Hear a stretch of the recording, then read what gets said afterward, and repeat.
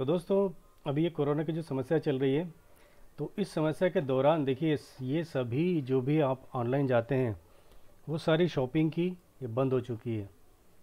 यहाँ पर देखिए, इन्होंने लिख दिया साफ़ साफ़ कि भाई हम कस्टमर को अब सर्विस नहीं दे पाएँगे और जब तक ये ख़त्म नहीं हो जाता है।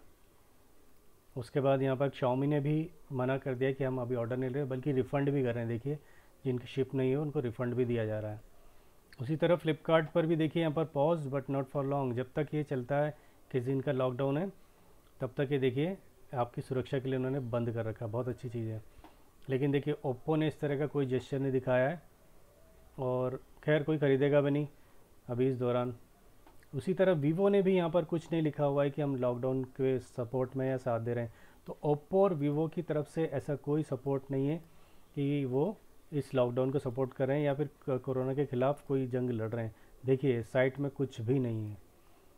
लेकिन यहाँ पर रियलमी ने देखिए, लिख रखा है कि हम अनाउंस कर regarding national lockdown we are temporarily not taking orders बस ये देखिए, ये भी साथ दे रहा है रियलमी भी साथ दे रहा है। तो आप देख लीजिए, आप लोगों के साथ कौन कौन है और कौन नहीं है।